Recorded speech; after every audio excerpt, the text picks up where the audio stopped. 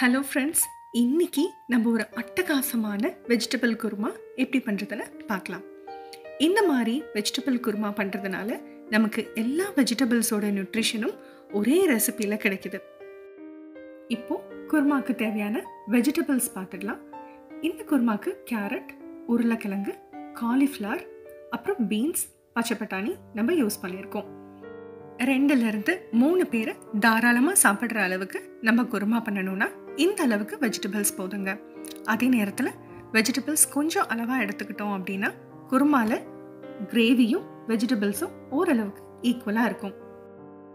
அதனால தான் கேரட்டில் ஒரு பாதி கேரட் பீன்ஸில் ஒரு நாலஞ்சு பீன்ஸு பச்சை பட்டாணி கொஞ்சம் அதிக அளவில் காலிஃப்ளவர் ஏன்னா அது கொஞ்சம் சுவையை கூட்டி கொடுக்கும். அதே நேரத்தில் ஒரு சின்ன உருளைக்கிழங்கு எடுத்திருக்கேன். இதுக்கு ஒரு பெரிய வெங்காயம் ஒரு பெரிய தக்காளி தேவைப்படும்.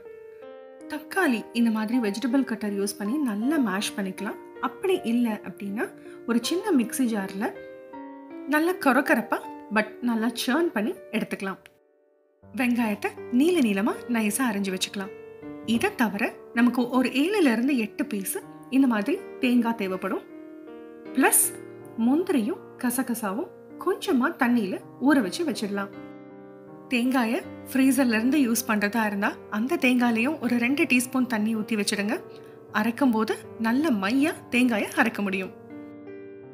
அப்புறம் இதுதான் தாளிதத்துக்கு தேவையான பொருட்கள். இந்த கல்பாசியும் ஆப்ஷனல் தாங்க. இப்போ பேன் நல்லா சூடானதுக்கு அப்புறமேட்டு ரெண்டு டீஸ்பூன் நெய் ரெண்டு டீஸ்பூன் எண்ணெய் யூஸ் பண்ணிக்கலாம். நெய் சேர்த்து வெஜிடபிள் குருமா பண்ணும்போது அதோடைய ருசியே தனி. எண்ணெயும் நெய்யும் நல்லா சூடானதுக்கு அப்புறமேட்டு நம்மளுடைய தாளிதம் பொருட்கள் சேர்த்துக்கலாம். சோம்பு சேர்த்து வதக்கிக்கலாம். ஒரு பத்து செகண்ட் கழிச்சு நல்லா அந்த வதங்கின வாசம் வந்ததுக்கு அப்புறமேட்டு நம்ம மெலிசா அரிஞ்சு வச்சுருக்க வெங்காயம் ஆட் பண்ணிடலாம். வெங்காயம் நல்லா வதங்கி கொஞ்சம் டிரான்ஸ்பரண்ட் ஆனதுக்கு அப்புறமேட்டு இஞ்சி பூண்டு பேஸ்ட்டு சேர்த்துக்கலாம். இஞ்சி பூண்டு பேஸ்ட்டு நல்லா வதங்கணும். பச்சை வாடை போகிறதுக்கு கொஞ்சம் டைம் கொடுங்க. அதுக்கப்புறம் நம்ம தக்காளி ஆட் பண்ணிடலாம். தக்காளி பியூரி மாதிரி பேஸ்ட்டாக அரைச்சிக்காதீங்க. இந்த மாதிரி கொஞ்சம் கொர கொரன்னு இருந்ததுன்னா அது ரொம்பவே நல்லா இருக்கும். அதுக்கப்புறம் நம்மளுடைய மசாலா பவுடர்ஸ் ஆட் பண்ணிடலாம். பொதுவாகவே குருமா ப்ரிப்பரேஷன்ஸ்க்கு மிளகாய்த்தூள் ஒரு மடங்கு போட்டோன்னா மல்லித்தூள் இரண்டு மடங்கு சேர்த்துக்கணும். அதை தவிர ஜீரகத்தூள் மஞ்சள் தூள் இதுக்கு தேவையான உப்பு. இதெல்லாம் சேர்த்து நல்லா வதக்கிக்கலாங்க. இந்த மாதிரி எல்லாம் ஒத்து போல நல்லா வதங்கிடுச்சு. இப்போ நம்ம எடுத்து வச்சிருக்கிற காய்கறிகளை ஆட் பண்ணிடலாம். நம்ம காய்கறியில் இந்த கிரேவி நல்லா பெரட்டின மாதிரி கிண்டி விட்டுறலாம். நம்மளுடைய எல்லா வெஜிடபிள்ஸ்லேயும் இந்த ஈவனாக இந்த கிரேவி கோட் ஆனதுக்கு அப்புறமேட்டு தேவையான அளவை தண்ணி சேர்த்துடலாம். மூடி வச்சு ஒரு ஃபைவ் மினிட்ஸ் குக் பண்ணலாங்க. அப்போ இந்த வெஜிடபிள்ஸ் நல்லா குக் ஆக ஆரம்பிச்சிடும்.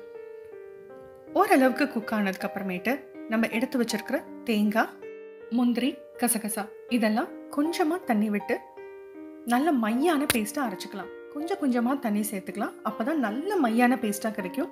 தேங்காய் வந்து குறை குறைப்பாக தெரியக்கூடாது. நல்லாவே மையாக அரைச்சிடலாம்.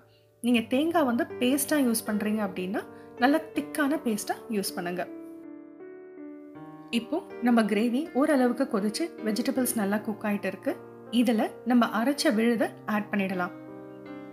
இந்த விழுதை ஆட் பண்ணதுக்கு அப்புறமேட்டு இன்னொரு அஞ்சு நிமிஷம் நல்லா கொதிக்கட்டுங்க. இதுக்கப்புறம் ஓப்பன் பேன்லேயே நம்ம குக் பண்ணலாம்.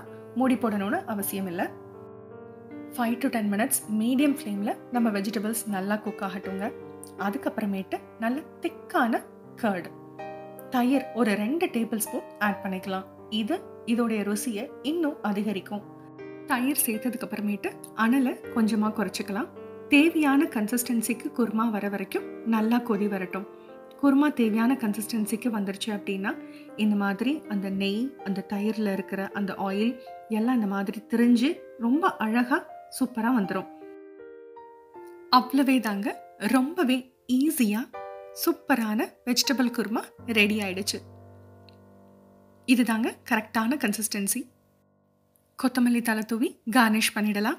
சுட சுட சர்வ் பண்ணுங்கள் இது இட்லிக்கு தோசைக்கு ஃபுல்கா ரொட்டி பராத்தா எல்லாத்துக்குமே ஒரு சூப்பரான காம்பினேஷனாக இருக்கும். ட்ரை பண்ணி பார்த்துட்டு எப்படி வந்ததுன்ற கமெண்ட்ஸை எனக்கு கண்டிப்பாக ஷேர் பண்ணுங்கள் தேங்க்யூ